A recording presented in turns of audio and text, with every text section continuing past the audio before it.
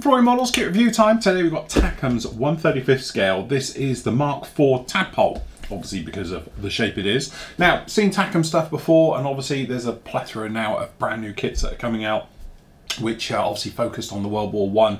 Some incredible ones we've looked at reviewed recently, but it's very nice to see all these much overlooked kits for years and years. So anyway, beautiful box art on the front. Talking about workable track links seems to be pretty much the staple now for all these things, and it's great to see it because track's notoriously difficult.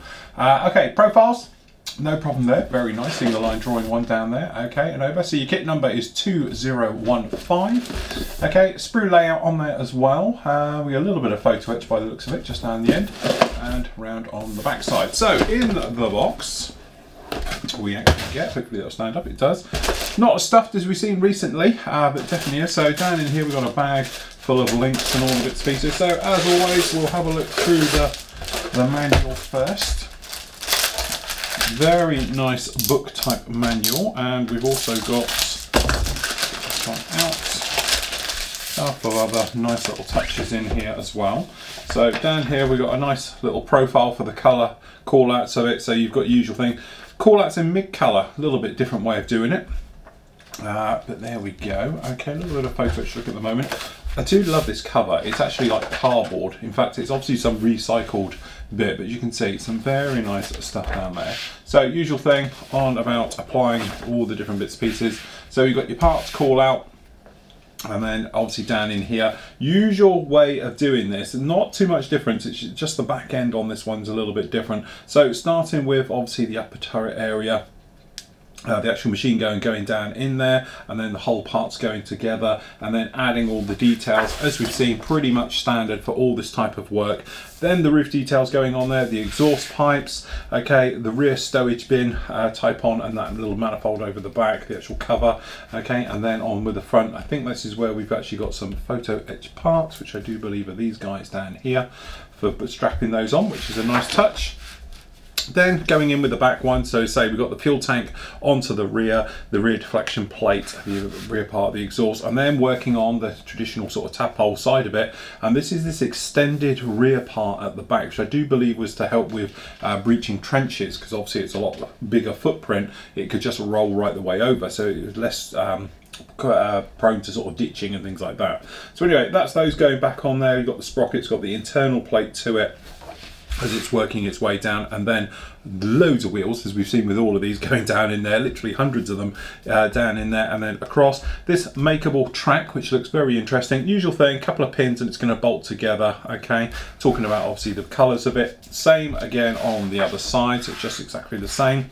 And then for the internal so as you say you've got a very nice detailed gun going down in there. This is looks like it's a male version uh, looks like it's got machine guns as well, but yeah, I think this is more like the male version, as in as the heavy guns rather than the lighter version, the female. Okay, exactly the same then for the other side, doing the actual the sort of sponsons on the side. Okay, and then coming down here on the back, this is the way it's going to connect in. This is that sort of rear mortar uh, unit on the back. Okay, so it's like a travelling mortar, and then Okay, just down on the back you have it there. So you say, really straightforward, these two extra parts then and going through. Okay, no internal detail like we've seen with, I think this is over my shoulder, the big boy back there, the Meng one, but definitely something to look at. So, okay, just have a look at this guys. You can see this is our photo etch. Pretty straightforward, nothing exciting really down there. Should add a little bit of detail where it's required. And as we got them here, we've got the actual individual track links, very reminiscent of the Tamiya one, to be honest, the way it's actually going to go together. So you've got a nice big bag of those. To be honest, it's always been a real bugbear. I hate doing armour. Road wheels and tracks. Road wheels, I've got an easy way of painting them now, straightforward using the template, and then obviously click together tracks, make it so much easier. Okay, so in we go. sprue one. Okay, all individually bagged, which is lovely to see. So as you go in here, if we just drop this top camera in nice and tight, okay, and this other one just in a little bit. So there we go, as you can see, very nice. Not the sharpest detail, but it's definitely very nicely detailed all the way through. All this nice raised riveting detail, as you can see down there, or sort of bolting detail, I should think, all in there. Very nicely done. Nice, clean, crisp moulding, no sign of flash, anything else like that. Ejector pins, amazingly, very, very far and few between. We've got no ejector pins on any of these parts. We've got one here in the middle. Okay, catch it in the light, there you go. But if you look, there's nothing on any of the others. And this is something we were saying about with the Meng one. There was ejector pins on it. This guy's got no ejector pin marks down here whatsoever. Uh, we've got a de-ditching bar, looks like here as well, though I can't see it actually on the vehicle. Uh, but we've got a de-ditching bar there because it hasn't got the frame to chuck it over the top so I don't know quite on that one so that's quite nice. Uh, okay. See it's a bit of a thing because it's showing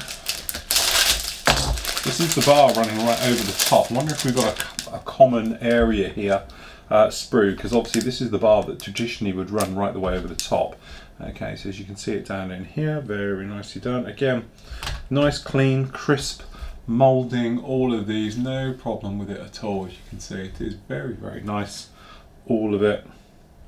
And the details as well.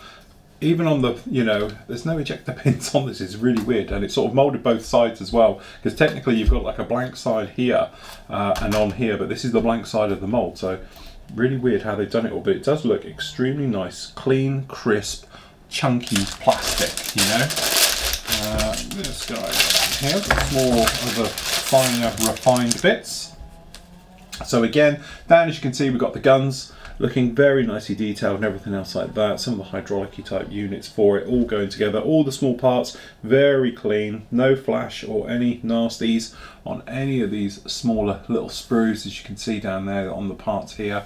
And then over on this side again, all the bolting detail very nice, very clean, very crisp. All down there like that. And again, no ejector pin marks apart from a couple of them. Got one in the middle each here one there. Okay but other parts don't have them. It's really odd how there's none in there. And I know when you look at the sprues themselves you've got lots of uh, sort of ejector pins on the actual sprue points themselves to get it out uh, of the actual mold and things but the parts itself extremely nicely and very well done. Okay if we have a look at this guy this is obviously, you know, we've got these two here. Uh, I don't know if they're a match set E and L, so they are different. So, like Very close in the bags. Okay. Again, you can see this beautiful detail. You catch it in the light absolutely fantastic very nicely done very clean crisp sharp it's not as sharp as some of the ones we've seen, but it's definitely there. You know, you have got some very nice details on this. How well the actual camera picks them up, but extremely nice as you look at them. Very nicely done. And then obviously this is the inside, technically is the blind side. Again, no ejector pin marks on this at all. Even on a large part like this, we've got no ejector pin marks in there whatsoever beautifully done very nice and then we got the same on this guy. There's not a lot of point getting this one out of the bag which you can see. Exactly the same. No ejector pin marks at all. Very clean crisply molded. That's very nice. Okay into the smaller ones. Okay, so in here we've got um, duplicate one, so we've got C, so uh, is our face side. Technically, this is the face side. So you've got actually the drive sprockets and some of the gearing mechanics, the drive chain, things like that down here. Very nicely molded, very cleanly done. All the suspension. These are the little machine gun uh, on here. You can see the drum mags for them. The little cleats uh, and things. They're very nice, very clean, very crisp. Beautifully done, very nice. A nice, sharp, clean kit, I would call this one. Uh, one. Again, little bit down here. As you can see, this is the mortar unit. So this is like the, the bit down the back here. So you actually got the mortar tube itself. Okay, got an ejector pin in there, so you're going to have to whip this guy out. Okay, so you're going to have to, actually these usually there you go, they pop out. Okay, so you can just flick them out with your nail. They are literally that easy to get out, but you are going to have to take those out. First time we've seen them. Got the gun barrels down here, very nice. This X is obviously the spreading it at the back, keeping it all nice and square and everything else. And obviously this is the mortar plate that it actually sits on at the back of the unit. So very nice there. And then not a lot of point getting all these out. This is all your road wheels. So you've actually got three sprues of those to go through, all identical. Okay, so you've actually got the pins through the middle, then the wheels themselves are making their way around just like that. And that is it.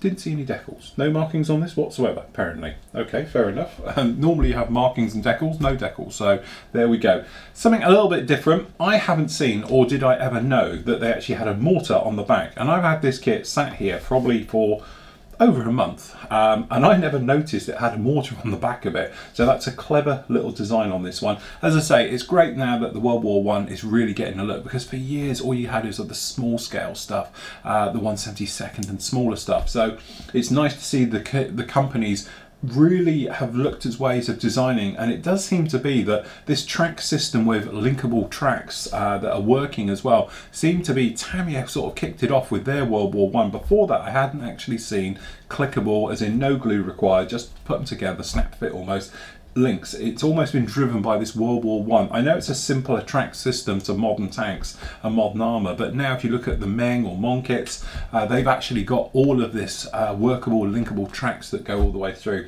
and it makes modelling so, so much easier. So there we go. That is the Mark IV Tadpole, something a little bit different, but if you are into this type of armour, this is definitely one for your collection.